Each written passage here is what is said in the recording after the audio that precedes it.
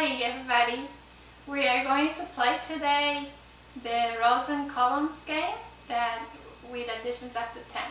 And here with me playing today is my son Superhero. We're gonna play together.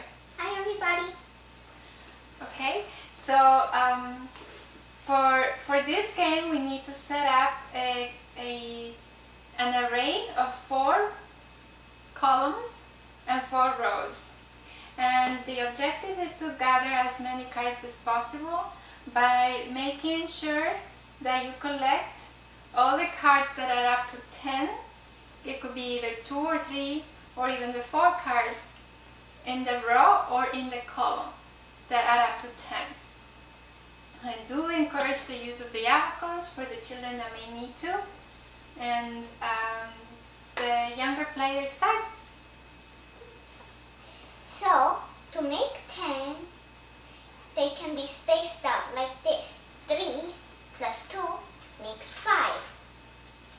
And 5 plus 5 makes 10. Excellent, and that was in, in the same column. So now we replace the cards from the deck. And then it's the next person's turn. So I'm going to take a look and see what I can do. And here, I got a 4 plus 1 is 5 and a 5 is 10. So then we replace them again and we will play like this until all the decks are exhausted. I'm removing the tens because we're not playing, we're not using using the tense in this game. Hmm.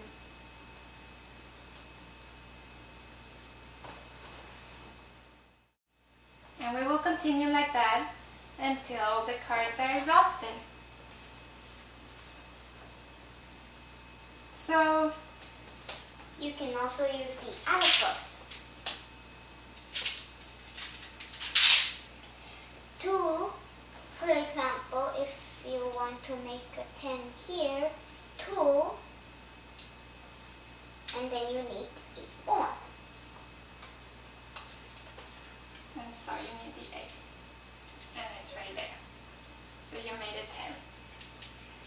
And that's it. You could you could also play this with numbers that are up to, to 15 once the child has mastered the tens or any other number, 11, 12, 13, 14, 15, 20, whichever you feel like you may want to master. Alright, that concludes our explanation of, of um, rows and columns game. If you wish to, to look up more games, please visit our website at raisingaselfreliantchild.com. Thank you for watching. Bye, thank you for watching.